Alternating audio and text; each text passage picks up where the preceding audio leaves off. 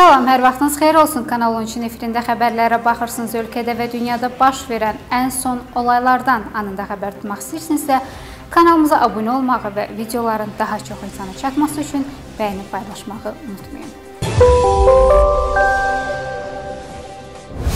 Müdafiə Nazirliyinin verdiyi məlumata görə sentyabrın 22-si saat 23:45-dən sentyabrın 23-ü saat 8:30-adək Ermənistan Silahlı Qüvvələrinin bölmələri Azərbaycan-Ermənistan dövlət sərhədinin Tovuzqala rayonunun Çinarlı, Basarkeşə rayonunun Yuxarı Şorca, Günəşli və Zərkənd yaşayış məntəqələri istiqamətlərində yerləşən mövqelərindən ordumuzun Tovuz rayonunun Koxanəbi, Kəlbəcər rayonunun Keşdəng və Barmaqbinə, Daşkəsən rayonunun Təzəkənd yaşayış məntəqələri şəhər istiqamətlərində yerləşən mövqelərini müxtəlif çaplı atıcı silahlardan fasilələrlə atəşə tutub. Azərbaycan ordusunun bölmələri tərəfindən adekvat cavab tədbirləri görülüb deyə nazirliyin məlumatında qeyd edilib.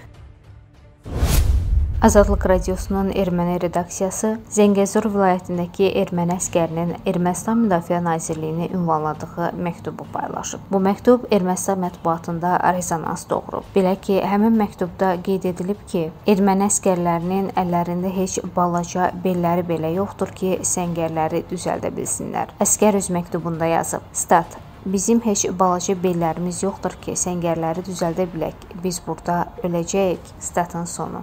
Bir neçə gün əvvəl sərhəddə baş vermiş döyüş əməliyyatlarından sonra internetdə video çarxlar peyda olub və görünür ki, Ermənistan tərəfinin mövqeyi 2-ci Qarabağ müharibəsi ərəfəsində olduğu kimi son taktiki dəyişiklikləri nəzərə almadan qurulub. İrəvan 2 il əvvəl olduğu kimi indi də öz əskərlərini düşünmür. Əskərləri konkret olaraq ölümə göndərirlər deyə Azadlıq radiosu paylaşıb.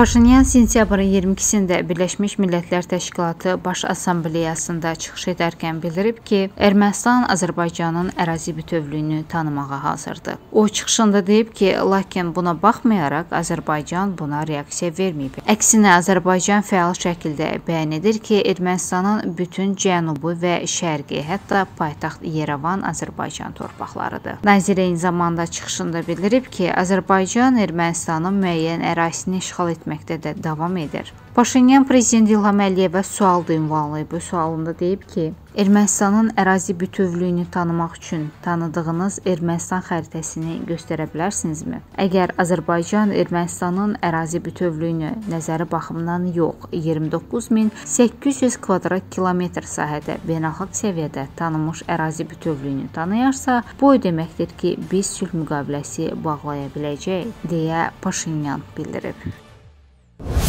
Bu gün Mətbuat Şurasının sədri Əflatun Amaşov Xalq qəzetinin baş redaktoru təyin edilib. Turanın verdiyi məlumata görə sentyabrın 24-də ölkə jurnalistlərinin qurultayı keçiriləcək. Qurultay zamanı Amaşov Mətbuat Şurasının sədri vəzifəsindən azad ediləcək. Eyni zamanda Mətbuat Şurasının yeni idarə heyəti seçiləcək. Bundan sonra idarə heyətinin üzvləri sədr seçəcəklər. Mətbuat Şurası tamamilə hökumət yönümlü qurumdur və orada bütün təyinatlar prezident administrasiyasının göstərişi ilə həyata keçirilir. Qeyri-rəsmi məlumatlara görə Əflatun Amaşovun yerinə 525-ci qəzetin redaktoru Rəşad Məcid təyin ediləcək. Audiovizual Şura Azərbaycanda 3 radio yayımçısına lisenziya verib. Bu gün keçirilən iclasda müsabiqə qalibləri elan edilib. 3 müsabiqəyə sənədlərini təqdim etmiş ümumən 7 iddiaçı arasında daha üstün texniki, yaradıcı, kadr və iqtisadi potensiala malik olan 3 iddiaçı NHR MMC radio redaksiyasının adı Yurd FM olan, Bakı FM MMC radio redaksiyasının adı Bakı Hit FM olan, Retro FM MMC radio redaksiyasının adı Bakı Retro FM olan iştirakçılar qalib elan olunublar və hər bir müsabiqə üzrə yekun qərarlar verilib. Bir neçə gündür ki, İranda davam edən ümumxalq etiraz aksiyalarında ümumilikdə 26 nəfər həyatını itirib. Məlumatı İranın dövlət televiziyası yayıb. Canlı yayımda çıxış edən dövlət televiziyasının direktoru deyib ki, təəssüf ki, bu hadisələr zamanı polislər də daxil olmaqla 26 nəfər həyatını itirib. Diktor ölənlərin dəqiq sayının rəsmi orqanlar tərəfindən açıqlanacağını bildirib.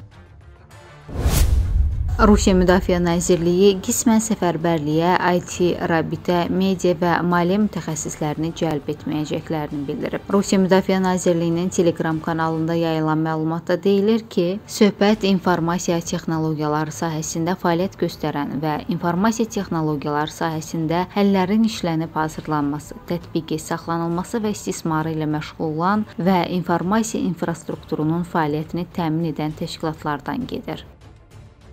Bax belə bu günlük və bu saatlıq bizdən bu qədər növbəti gündə görüşmək ümidi ilə hələlik